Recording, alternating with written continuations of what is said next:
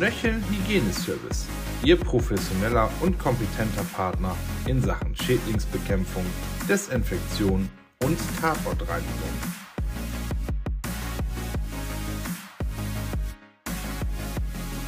Nöchel Hygieneservice.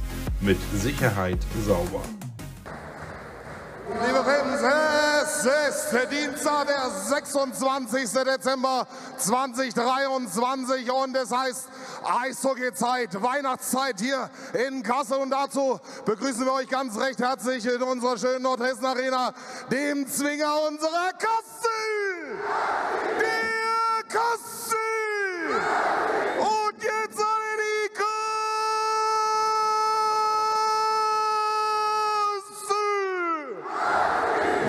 Dieser schneller und herzliches Hallo an die mitgereisten Fans von den Eisbären Regensburg.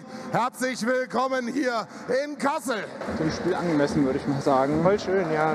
Weihnachtszeit, Eishockeyzeit. Auch die enge Spielfrequenz. Tor für Kassel. Das war Joey Keusen mit einem Distanzschuss. Und da war, glaube ich, keiner mehr von den eigenen Spielern dran. Schauen wir mal, wie viel Sicht McCollum da hatte. Nochmal in der Zeitlupe. Ja, gut gescreent auf jeden Fall. Hans Hans hat da eingeparkt und ist auch im richtigen Moment mitgegangen mit McCullum, der da nicht viel halten konnte. Guter Check da von Preto. Gegenspieler zeigt sich gänzlich unbeeindruckt davon. Da Regensburg. Ah, ums Tor rum. Hauer gerade noch zur Stelle. Guter Safe da mit dem Pad noch rübergezogen. Das war natürlich Break für Andrew den Topscorer. Jogan nimmt den Schuss und das ist der Unterzahltreffer für die Eisbären Regensburg. Er macht seinem Namen alle Ehre, der Goldhelm. Ja, mit Shorthander. Hier in der Nordhessen Arena sehen wir es nochmal. Macht er eiskalt auf die Fanghandseite von Philipp Maurer. sechster oder siebter Shorthander für Kassel, die das eine ganze Zeit lang ein bisschen besser in den Griff gekriegt haben. Du hast es gesagt, es hat natürlich den richtigen erwischt, der da das Break bekommen hat. Nächste Chance jetzt für Kassel und die sofort den alten Spielstand wiederherstellen. Darren Mischkowski, der hier wirbelt, wie nur was und sich dann auch diesen Treffer erarbeitet. Wir gucken nochmal drauf. Ja, Scheibe da mehrfach abgefälscht, dann von Olsens Schlittschuh nach außen und dann kriegt Mischkowski genau auf die Kelle und kann dann ins lange Eck einschieben. auch einige Regensburger, die den Weg hergefunden haben und unermüdlich Kette geben da im Fanblock der Auswärtsmannschaft. Abschluss Laui Tor! Fast außen nix, ging es ganz schnell nach vorne. Flacher Handgelenkschuss von Joe Lowry. Hätte er keine Ohren, würde er im Kreis grinsen. Freut sich da über seinen Treffer. Wir gucken noch mal drauf. kalt erwischt, genau zur Halbzeit. Und elf Sekunden hat es gebraucht vom Anspiel in der eigenen Zone bis zum Tor. Jetzt wird es spannend, weil jetzt muss Regensburg natürlich etwas aufmachen und mehr fürs Spiel machen, aber sie kommen da nicht zu, weil die Huskies das Teil sofort auf 4 zu 1 erhöhen. Der Assist von Keusen natürlich, der da hervorgehoben werden muss. Wir sehen das jetzt gleich nochmal. Geht zu 50% auf ihn. Der Rückhand passt da in den Slot zu Ryan Olsen und der fackelt nicht lange und schießt das Ding unter das Dach. Schöner Pass da von Keusen und Ryan Olsen wusste auch genau, wo er sich bedanken muss. Und jetzt mit Geschwindigkeit, da muss ein bisschen energischer gehen, das Backchecking von Regensburg, sonst gibt es nämlich die nächste Bude, 5 zu 1. Die Eisbären konsterniert, müssen hier innerhalb von kürzester Zeit drei Gegentore schlucken. Und jetzt wird es ein verdammt steiniger Weg, zurück in die Partie zu kommen. Stage, der den Treffer da erzielt. McCollum durch die Hosenträger. Ja, auch gut gemacht. Macht Und Bühler, Abschluss, Jogen, ein bisschen über die Scheibe gehauen, aber der Rebound Jogen im Slot freigespielt. Rebound-Chance und dann am Kasten vorbei. Eine Hochsprungeinlage machen Brune jetzt mit dem Scheibenklau. Dann geblockt, wieder Rebound, das 6 zu 1 für die Huskies. Scheibe springt da ein bisschen zufällig zu Alec Alroth, der dann wenig Arbeit hat, die Scheibe im Kasten unterzubringen. Und es ist Pierre Preto, nicht Alec Alroth. Alroth mit dem Scheibenklau und Preto der Torschütze. Ja, Abend zum Vergessen ein bisschen für Thomas McCullum. Kann man sich das Ganze auch mal anhören auf Spotify, wenn Sie bei Instagram mal reinschauen wollen. Gefährliche Szene und das 7 zu 1 für die. Das nächste Tor. Die Scheibe da im Slot rüber gesprungen.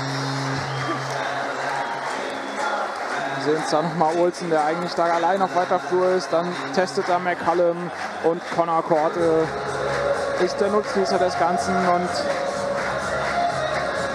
McCallum entnervt in seinem Kasten.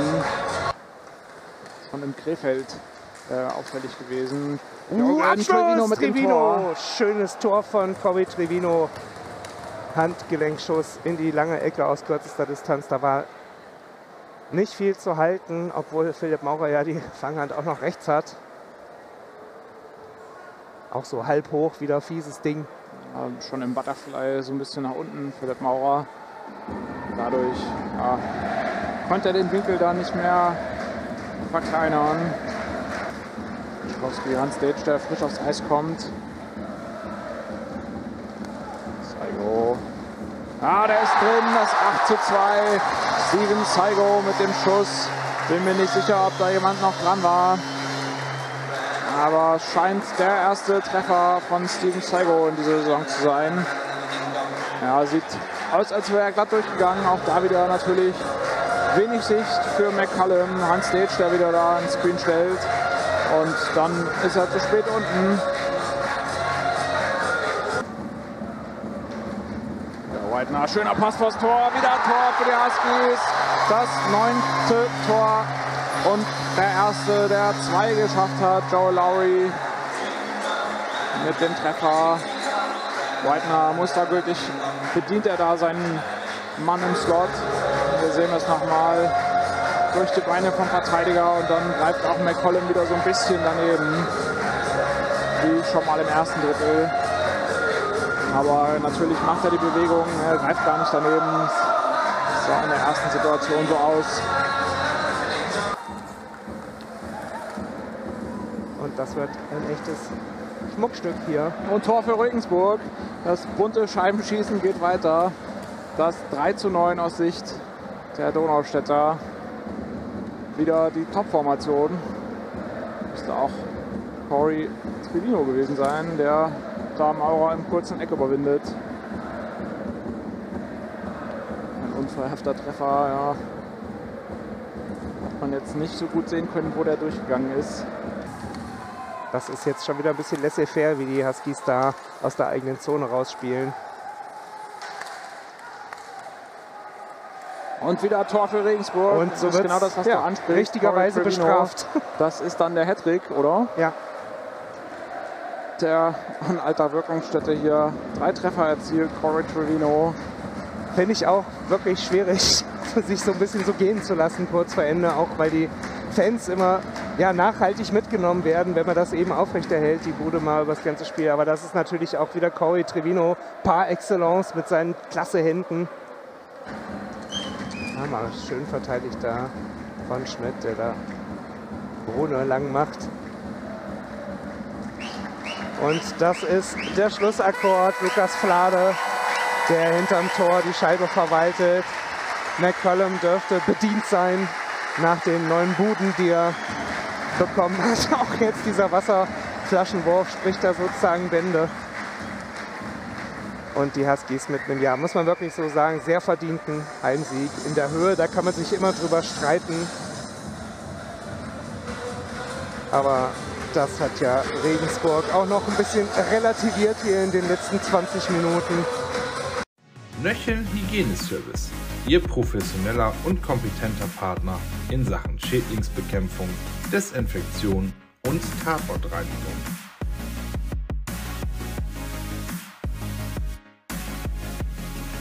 Nöchel Hygieneservice.